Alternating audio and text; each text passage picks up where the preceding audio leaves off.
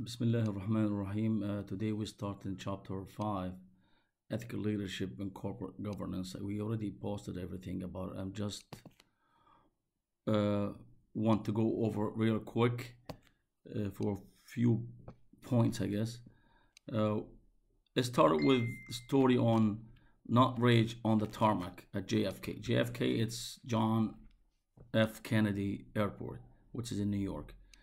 Uh, Miss Cho, daughter of Korean airline chairman, scolded a flight attendant who gave her an unopened bag of nuts while on the tarmac at JFK Airport. Ms. Cho stated nuts should have been served on a plate because this is the proper procedure. يعني هي طل- بس عشانها بنت اللي هو رئيس او المدير- رئيس المدير التنفيذي لشركه ال- الكو- الايرلان آه، الطيران الكوريه اللي هي زعقت أو اهانت أحد الفلايت اتندنس اللي هو موظفه الطيران عشان جابت لها باكيت اللي هو المكسرات في باكيت مسكر مش في صحن. قالت لها لازم تجيبيه إيش؟ في طبق. ثم رجعت الطائرة من الجيت من عند البوابة حتى تنزل المضيفة أو المضيف اللي أزعلها. هذا أدى إلى تأجيل طبعا return to the gate caused a 20 minute flight delay أدى إلى تأجيل الرحلة ب 20 دقيقة Of course, the chairman of Korean Airline stripped his daughter of all her titles and duties at KA for her foolish behavior. طبعا والدها اللي هو المدير التنفيذي آه، أزال عنها كل المميزات وكل الألقاب أو المناصب اللي كانت تحملها بنته بسبب اللي هو تصرفها الغبي كما كما كما قال. Uh, Korean airline faced sanctions in attempt to cover up Miss Cho's not rage. طبعا هم واجهت عقوبات اللي هي الطيران الطيران الكورية بسبب انها حاولت التغطية على افعال بنت المدير التنفيذي.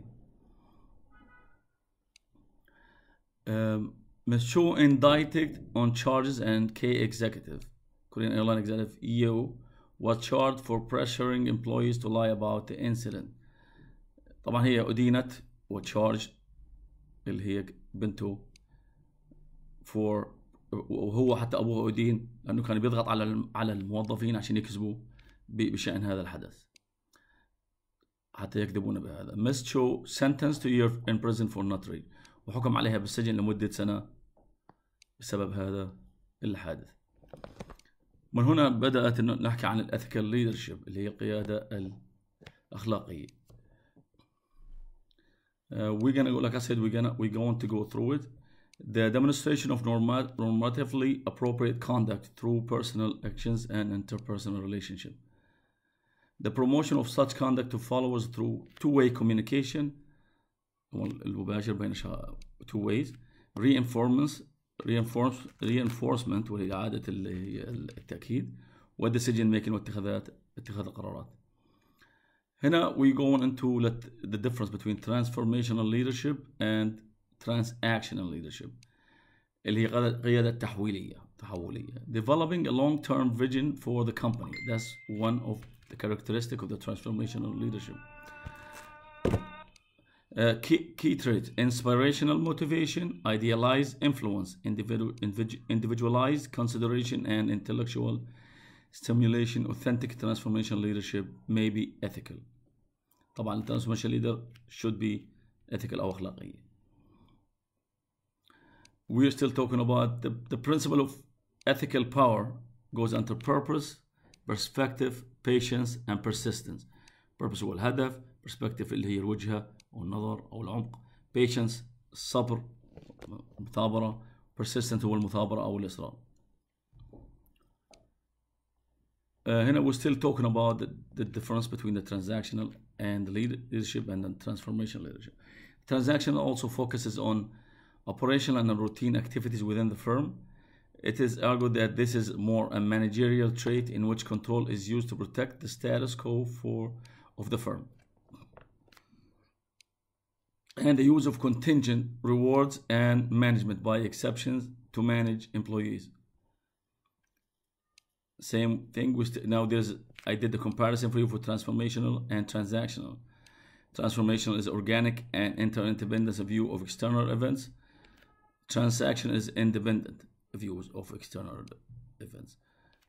A transformation is more altruistic motives are supported by the deontological, philosophical and the other one transaction is it, it, it follows the teleological framework. And the transformational focuses on social obligations and the transaction focuses individual obligations which we should be we should know what is the difference. Tamam?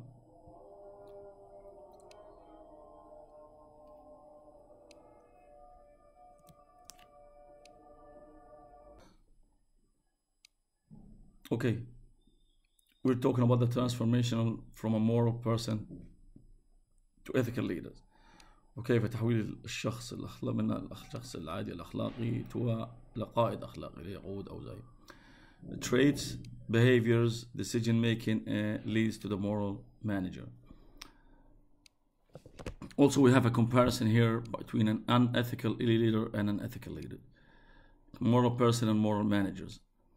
The unethical, of course, has weak moral person and weak moral manager. Drive to reward their own self-interest. Uh, examples include Jeff Skilling, Bernie Ebbers. We don't need to talk about this. Ethical leader, the ultimate ethical goal of any manager.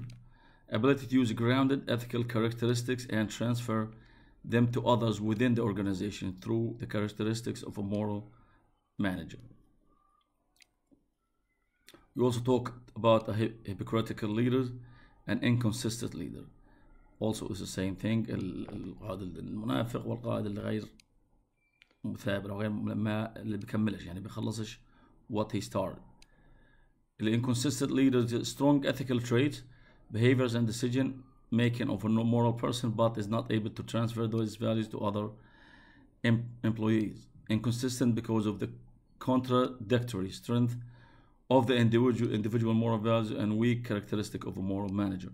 يعني هو يحب الأخلاق وخلوق ولكنه لا يستطيع نقل هذه الأخلاق للموظفين ولا يستطيع أن يفضل عليها لأنه إيش شخصيته ضعيفة weak characteristic. Hypocritical somebody who says one thing but ethical values and does the other يعني منافق من يقول شيئا ويفعل الآخر. Corporate governance ما يسمى الحوكمة حكومة اللي هي الكوربوريشنز the system that are used by firms to control the, and direct their operations and the operations of their representative the employees provides a method in which the ethical vision can be measured and validated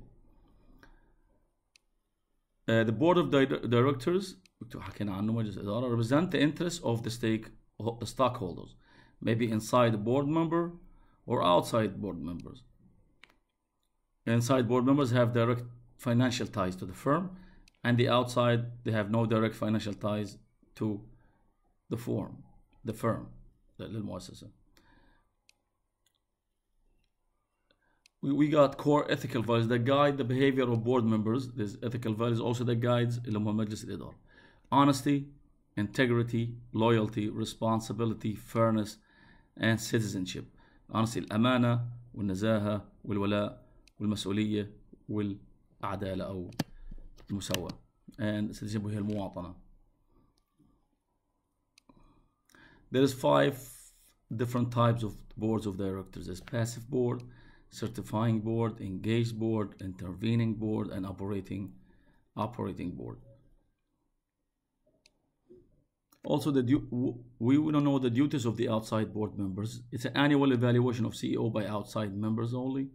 Outside members meet at least once a year without the CEO present, and they set the qualifications for membership of board member and communicate to shareholders.